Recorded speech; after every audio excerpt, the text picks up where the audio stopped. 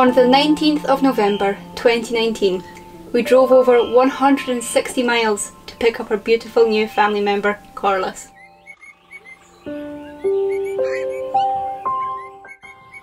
Upon meeting her, she was very curious, although a little frightened. We instantly knew she was perfect. She came to us with the name Rio, a very popular one for the macaw species. We decided to rename her Corliss, meaning carefree, as that's exactly what we intended her life to be like. She didn't have an overly great start to life. Due to a lack of research, her first owners weren't prepared for the responsibility of handling a bird of such spirit.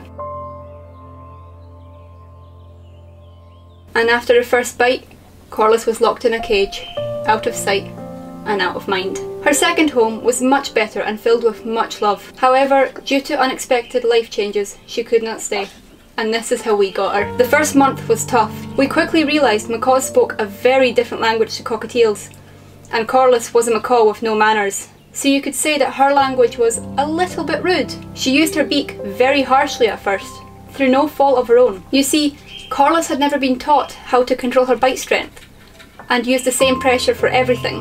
This often hurt and left many, many marks.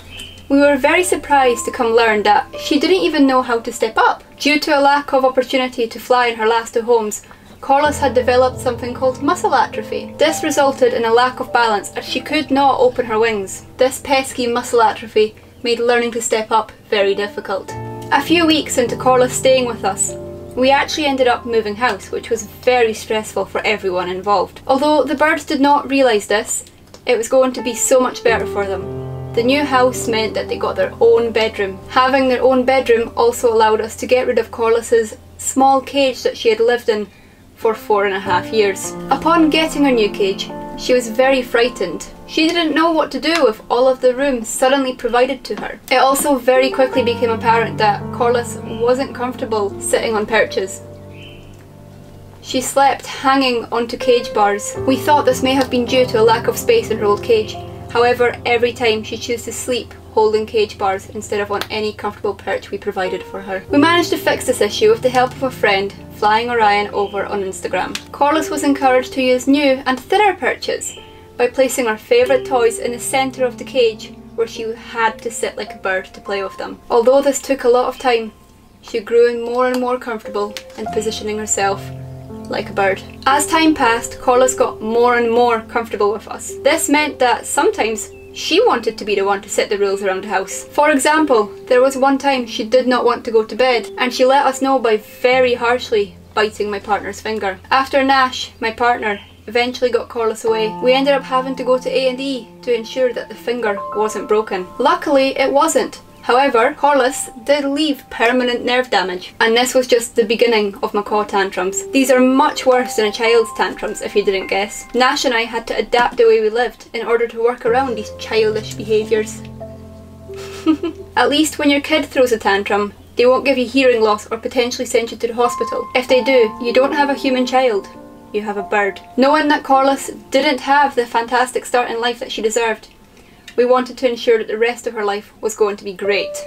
This meant filling it with plenty of stimulation and fun. From what we knew, Corliss had never experienced the outer world, so one chilly morning we decided it was time. Nash put Corliss's leash on her little foot and then they ventured out into the back garden. Our gorgeous Christmas chicken was so happy to see the great world.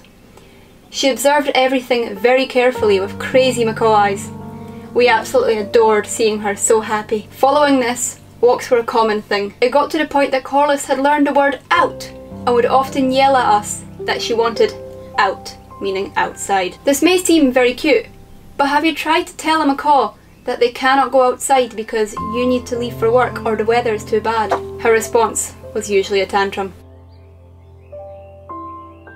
As I briefly mentioned earlier, Corliss had muscle atrophy, this meant that our muscles had wasted away due to not being used. Obviously, we wanted to help fix this, as it was clearly very uncomfortable for her. This meant that we had to encourage our Christmas chicken to fly. You'd think this would be an easy task, however, this bird hadn't flown since she was a baby. Convincing her was a lot more difficult than we had thought. We started by walking up and down the stairs, running with Corliss and showering her. All of this encouraged her to open her gorgeous wings and flap them even just a little bit. Through time, she built some muscle. This entire mission was very difficult though. We were essentially trying to convince a very lazy being to go from couch to 5k with no motivation. Corliss did not want to fly, for she had never had to fly to go places. Her old owner carried her everywhere she wanted to go. Finally, after many weeks of trial and error, she decided to let go and take her first flight. She graced the air very clumsily, but got better with every flight back to the perch.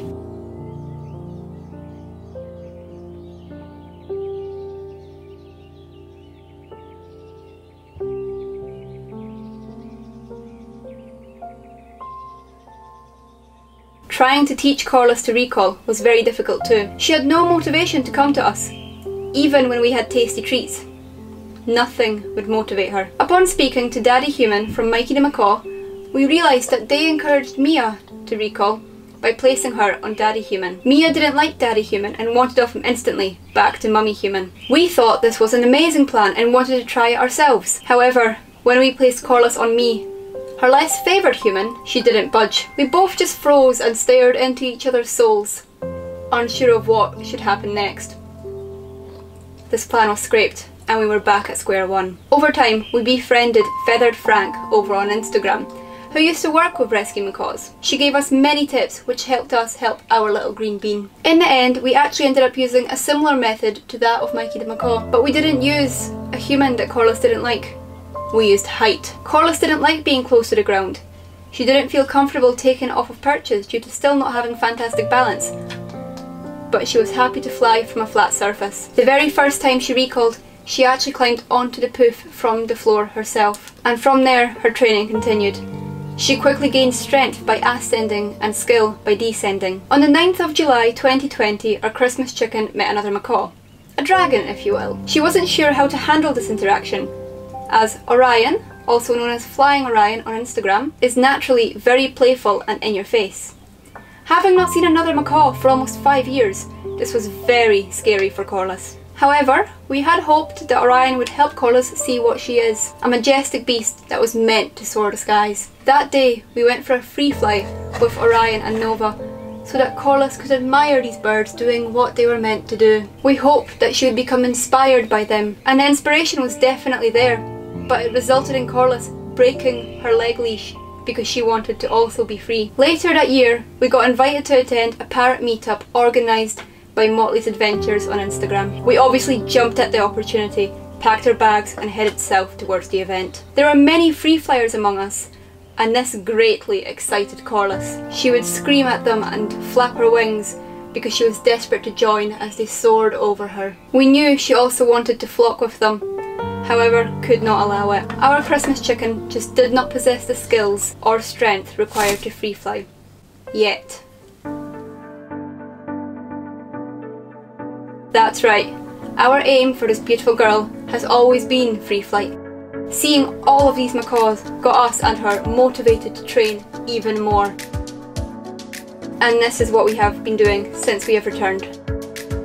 The weather is too cold currently to allow Corliss to have her first free flight, but come spring, we will be ready to take that leap together. We hope you have enjoyed our first year of Corliss, and like us, look forward to many, many, many more adventures.